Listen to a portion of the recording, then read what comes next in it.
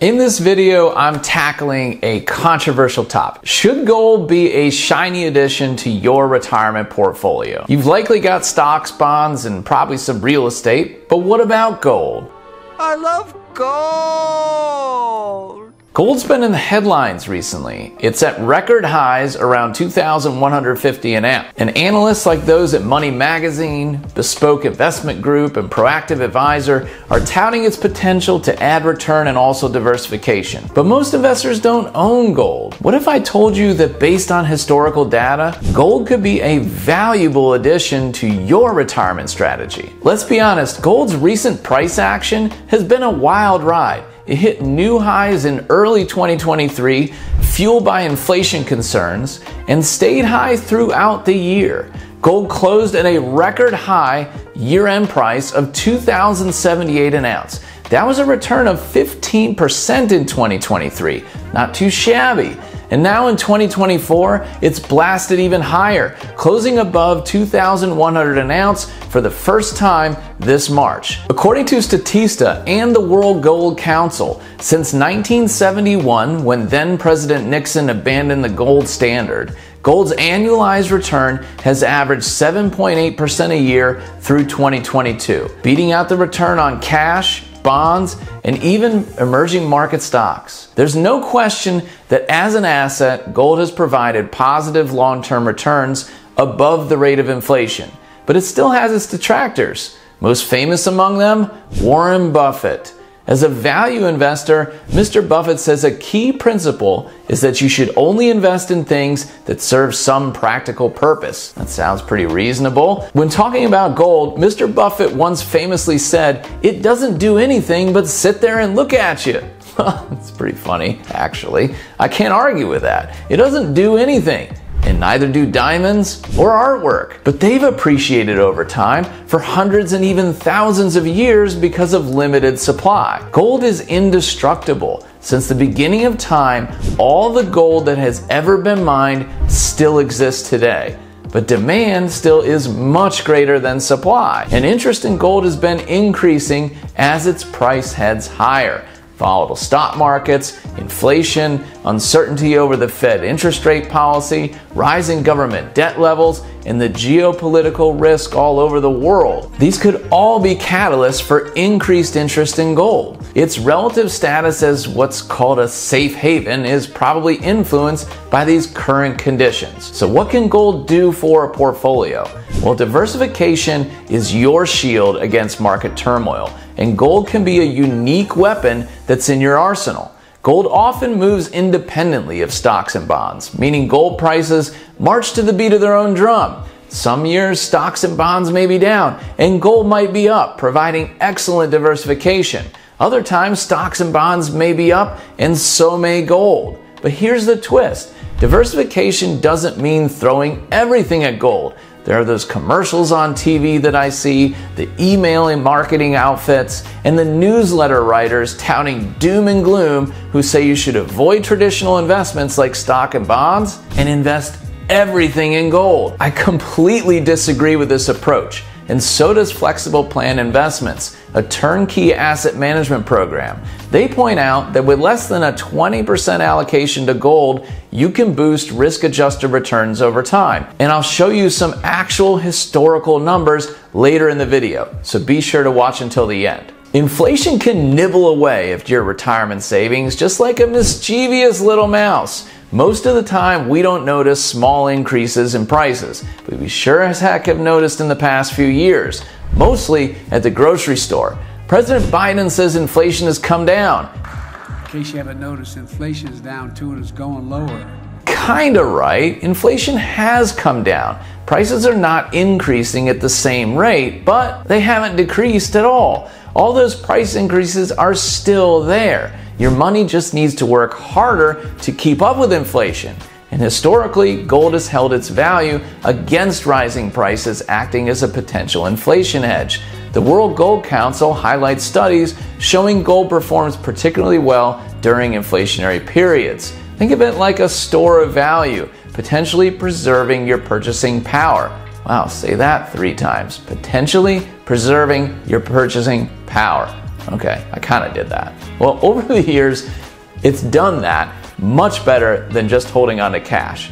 In fact, I just saw a YouTube short where there was a man who saved pennies for 45 years and finally cashed them all in. Over five hours, these pennies were counted. He saved $5,136.14 in pennies.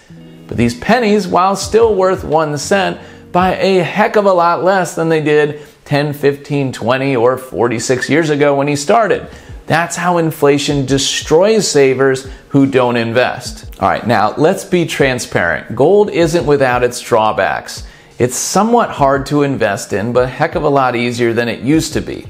Unlike stocks and bonds, it doesn't pay dividends or interest. And that's exactly why Warren Buffett hates gold so much. Its returns rely on price appreciation, meaning that you might miss out on income generating opportunities if you were to place your savings somewhere else. Additionally, gold can be quite volatile in the shorter term, but its long-term volatility is pretty similar to investing in the S&P 500 stock market. And that's what makes it an appealing diversifier. But gold can also test your nerves in the shorter term. So should you add gold to your retirement portfolio? Well, there's no one size fits all answer. It really depends on your individual circumstances like your age, your risk tolerance, and your overall investment goals. But here are some thoughts.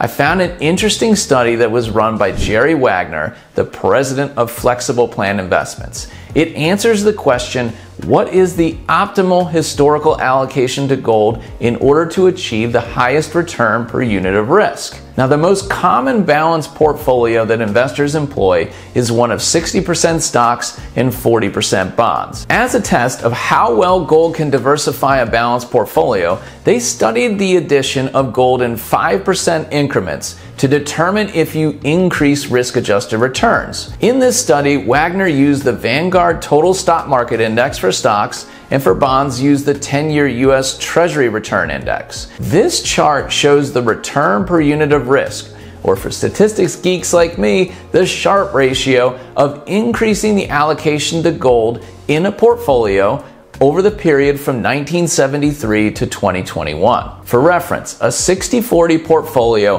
has a Sharpe ratio of 0.944 over that time frame. So you can see that as you begin to add 5% allocations to gold, you increase the return per unit of risk until you get the highest return for that added risk at roughly 20% of the portfolio. All the dots left of the vertical line are allocations to gold that increase the Sharpe ratio of the balanced portfolio, meaning they are portfolios that lie on the efficient frontier. All the allocations to the right of that line are increasing the risk, but not increasing the return anymore. So, all those newsletter writers who say you should have half of your portfolio or more in gold are building very inefficient portfolios with a heck of a lot of risk. And that's why I ignore them. Now, this chart shows the performance, the volatility, and the return per unit of risk for gold as a standalone asset, the balanced 60 40 portfolio, and the supposedly optimal portfolio of 20% gold and 80% in balanced. You can see the optimal portfolio and the balanced portfolio have almost the exact same return.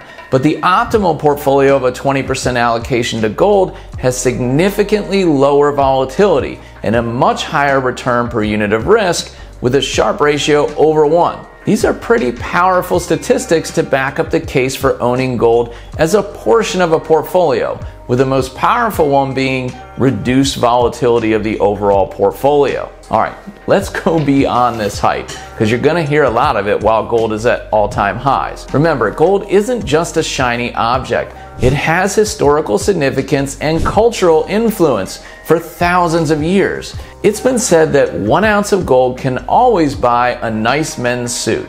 Back in the roaring 20s, when gold was $35 an ounce, it would buy a nice suit.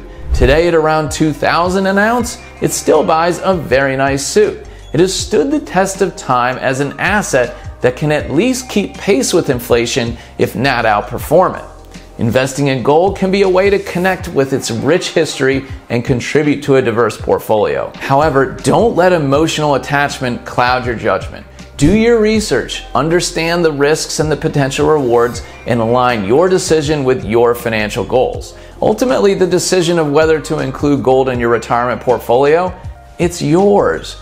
But by understanding its benefits, its drawbacks, and how gold fits into your overall strategy, you can make an informed and confident choice. I believe that a well diversified portfolio should include some allocation to gold. How much is determined by your goals, your tolerance for volatility, and what the current market bears. Remember, diversify your portfolio, but don't let the allure of gold blind you to other opportunities. So, what do you think? Should gold have a place in your retirement plan? Do you currently have a percentage of your portfolio in gold? Let me know in the comments down below. Let's keep the conversation going. I'd love to hear what you're doing.